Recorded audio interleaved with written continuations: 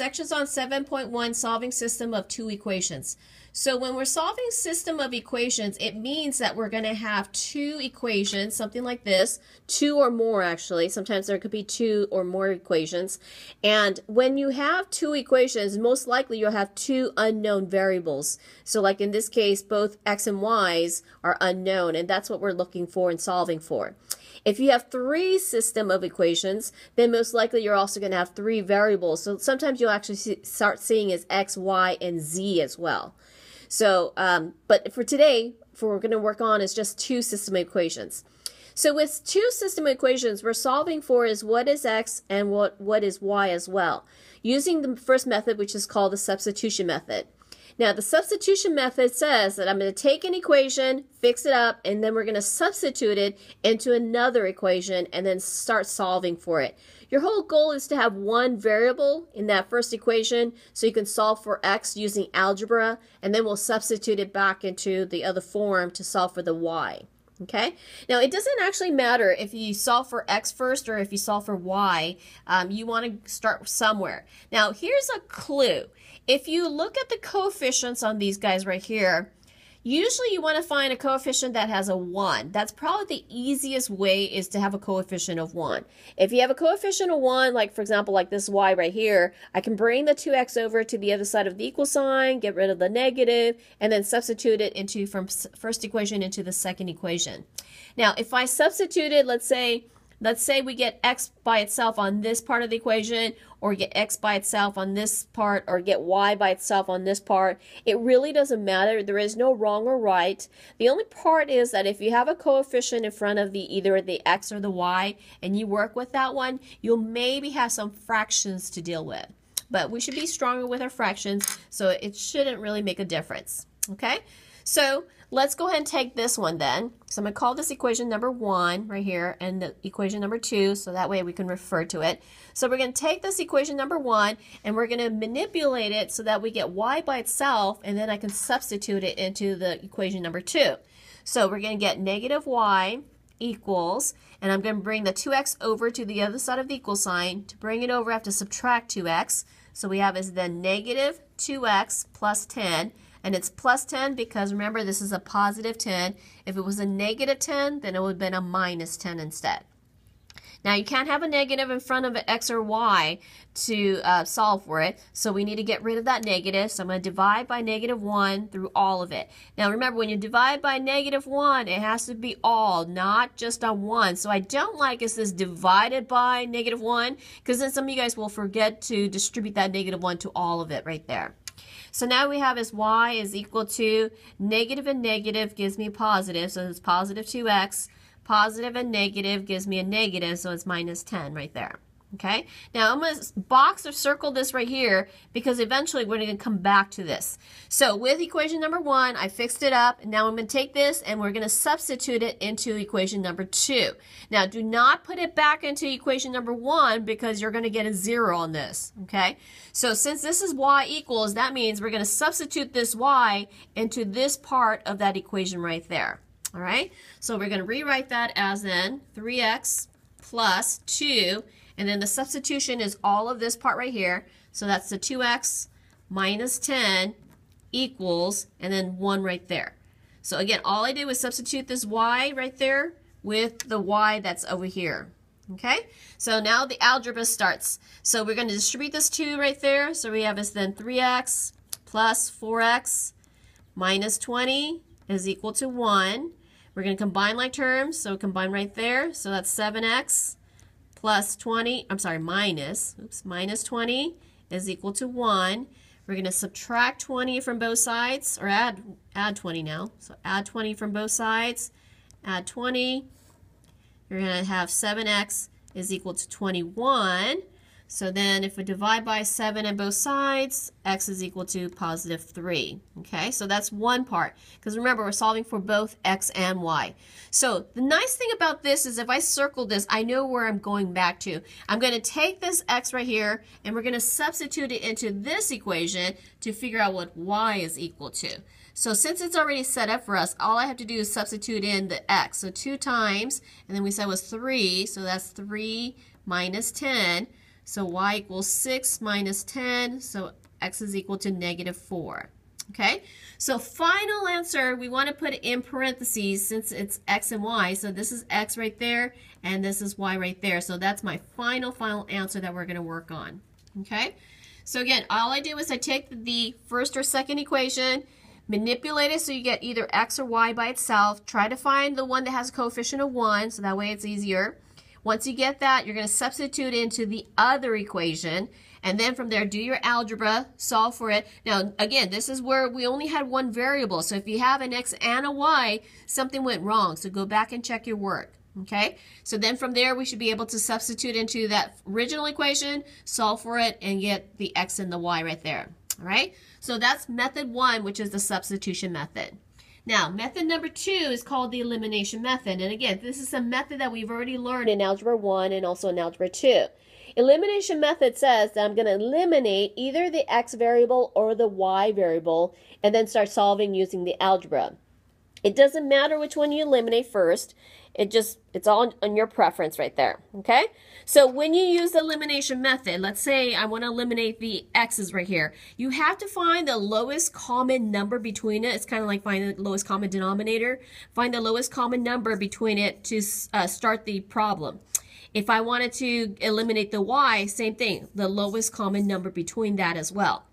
So let's just get rid of x first. So let's eliminate that and then we'll solve for y. Okay, so the lowest common number between this, between 2 and 3 is a 6, right?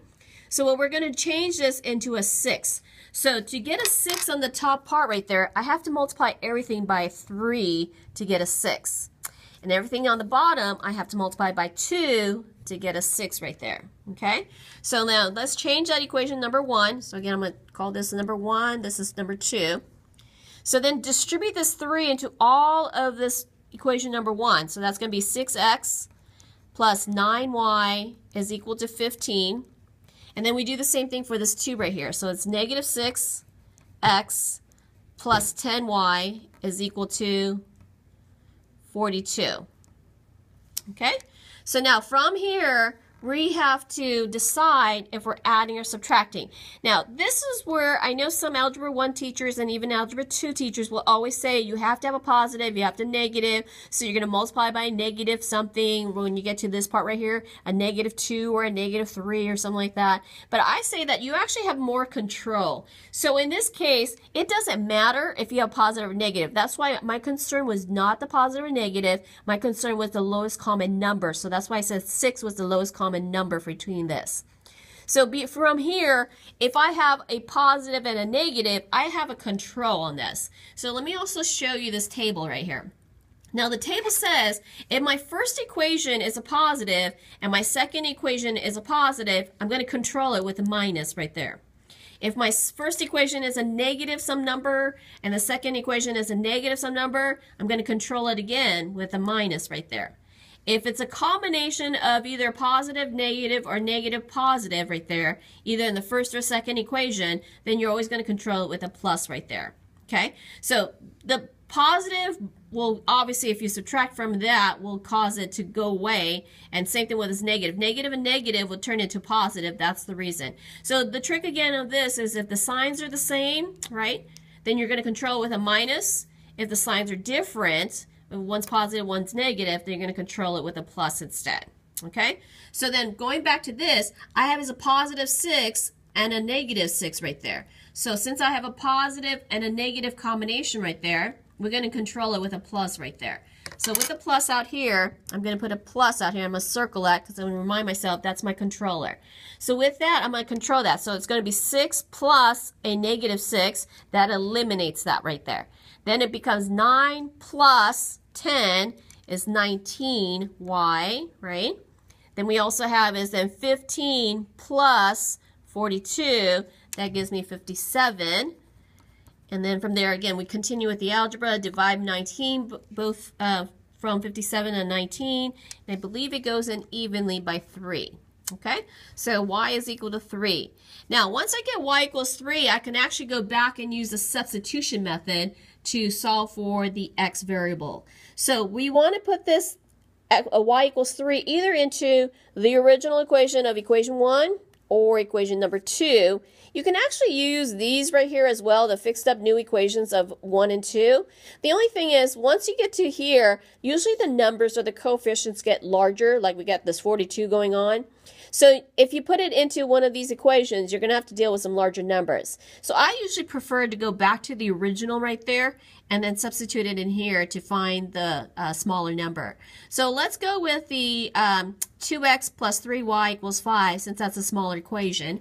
So I'm going to substitute now 2x plus 3, and we know then y is 3, so we substitute that 3 equals 5 right there. Okay, so again, I used equation number 1 right there. So now from here, we'll draw a little arrow right there. So from here, we're solving for x right there because that's the only variable that we have right here. So that becomes 2x plus 9 is equal to 5. We're going to subtract 9 from both sides. Then you're going to get negative 4, and as x is equal to uh, negative 2. So again, final answer that we're going to write it up as negative 2, positive 3 as a final answer right there. Okay? Make sure it's in a coordinate form right there. The reason why is because then method number three, I'm going to show you why we put into coordinate. Now, method number three, the last method that we're learning today, is called a graphing method. So the graphing method says that we have, again, still system of equations right there, but we're actually going to graph it out. So, graphing this out right here, let's put the calculator here. Turning it on. Y equals, okay, so we're going to it's already set up as y equals for us, so that's beautiful. So then we all have to do is now substitute it or plug it in into the calculator. So we get x squared minus 6x, and then the second equation is 3x. Okay, so what you want to do now is graph that out. You're going to have to play around with the window size on that, but what your goal is to do is to figure out is to get a nice picture, that's, a, that's window size of, let's say, 10s and 20s. So let's go with 20s all the way around. So let's see if that's going to make a difference so I can get a nice picture. Oop, that's 50, so that's probably why. Okay, so here we go. Oh, no, that's not enough. Okay, so then I do want 50 then. So let's go back to the y of 50. Okay, so the intersections, meaning that where the two graphs intersect or they cross right there, that's a solution. And same thing right here, if it's a parabola shape, that means it intersects at two places. Somewhere around here, it's going to intersect, and then obviously it intersects right here as well. So we're going to find out where do they both intersect at. So finding that on the calculator, we're going to use the second calculate. So second, and then calculate. And then there's a part where it says intersection number five. So I'm going to use that number five. Now with that, there's going to be this little blinking cursor and then the calculator is going to start talking to you. So when it says first curve right there, you want to be in the area or close to the area of the intersection. If you're far off, let's say for this part right here, you're close over here, it actually will start finding the intersection over here, which is fine. We need to find this one and this one as well. But if you're starting off and you're in this area, you might as well make sure you're around this area right here. So I'm just moving my cursor just to see where it is. Okay, so it's on the parabola one. So somewhere around here, I'm just going to press enter. And it's just going to say second curve. It should automatically jump to the next curve. Now, here's also the problem. If your window size is too small and it doesn't actually catch it, then it may actually reject you at the end. So, uh, we're cutting it really close right there, but let's try to, you know, make sure it does catch it. So let's see if it does catch it. So I'm going to press enter because it's going to go onto this equation right here. And so it's somewhere around this line right there. Okay. So then when it says guess, ignore it. So we're just going to press enter again. We're going to let the calculator do the work. And it intersected at 0, 0. So right there at the origin is where it's crossing. Okay. So let me graph this out also on my paper right here. So try to graph it out as accurate as possible to what you have on the graphing calculator because that's the whole point of using the graphing calculator. Oops. So let's see. Going through the 0 right there, going something like this and then obviously going through here, something like this. So here's my graphs right there. So right here at 0, 0 is my first intersection right there. Okay, now we're going to find out the second intersection, which is somewhere on here. So using the graphing calculator again, we're going to go second, and then calculate, and then intersection number 5. And again, you want to be closer in that area right there. So we want to get closer, somewhere on here. It doesn't have to be exactly on it right there. It could be in the vicinity. That's fine enough, okay? So that's close enough. So I'm going to press enter, and it's going to be on second curve. So make sure, again, it's on that linear equation right there. So it's close enough, yes. So press enter, yes, no, let the work be done by the calculator. And the intersection is at 927. So right here is at 927, okay? So the final answer then is these two right there. In this case, we're going to have two answers. So final answer 0, 0 and 927. So notice that I put these answers in parentheses, right? So going back to now the previous methods that we've had, so in this case, these were in parentheses. So technically, if you wanted to check your work, you can always take these two equations, set it equal to y equals, graph it out, find out where they intersect. Because both of these graphs, they should actually cross at this point at 3, negative 4. Okay, same thing with the elimination method. If I take both of these equations and we get y by itself and we manipulate them right there, when they graph it out, they should cross at negative 2 and 3. You may want to just to do that just to make sure that these both work right there. Okay, so that's a checking method as well to graph it out because again, the third method is the graphing method. Okay, now I also want to go over this last one right here. So in this last case right here, if you don't have y equals, then obviously you need to manipulate it and get y equals so you can put in the graphing calculator if you're doing the graphing method. So in this case, I'm going to take my equation number one, call it 1 and 2 again. So we're going to get this where x is on, brought over to the other side. So we're going to get y is equal to positive x, right, minus 7. And do the same thing for this one right here. y is equal to positive x and then plus 3. Okay, so we're going to graph this out now. So I'm going to go back to that y equals. We're going to have to delete those out. So it was, again, uh, y equals x minus 7 on the first one. So x minus 7. And then the second one was y equals x plus 3. So x plus 3. Okay, so we graph it out, and we're going to get something like this. All right, so that looks good. So let me see where it crosses again. Oh, it doesn't even cross at zero. So we have a sum two linear lines that are going something like this and something like this right here. So this is probably the plus seven right, or the plus three right there, and this is probably the minus seven right there. Okay, so now obviously these are linear lines. We know that because it's y equals mx plus b format. So if it's in y equals mx plus, plus b format, there are two linear lines right there. Okay, now some of the equations, when you do the substitution method and also the elimination method, we had no solution.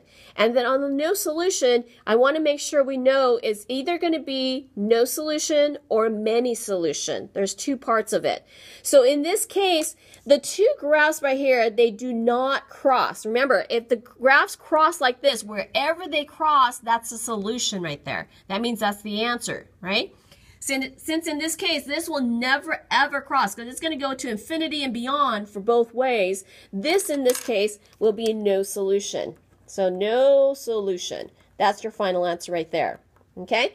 Now, when do you have many solution? Many solution is actually when you work this equation out and when you graph it out, it's actually going to be exactly the same line and when you have exactly the same line, then you have as many solution because that means there are two equations on top of each other like this. So all of them, since they are on top of each other, crossing on each other, so there's many solutions because they're on top of each other right there. Okay, so this case will be many solution or infinite solution. Um, sometimes you'll see in the back of the book. Okay, so those are the two types that you'll have. So when you get to the elimination method and also the um, substitution method, when things start to cross out, then you need to get y by itself and figure out if it's exactly the same line or if they're parallel to each other, like this one right here. If they're parallel, because if they're parallel, then it's no solution. If they're exactly the same equation, then actually it becomes many solution. So make sure you're careful about those solution problems right there. Okay? All right, so those are the three methods that we're going to work on for the 7.1.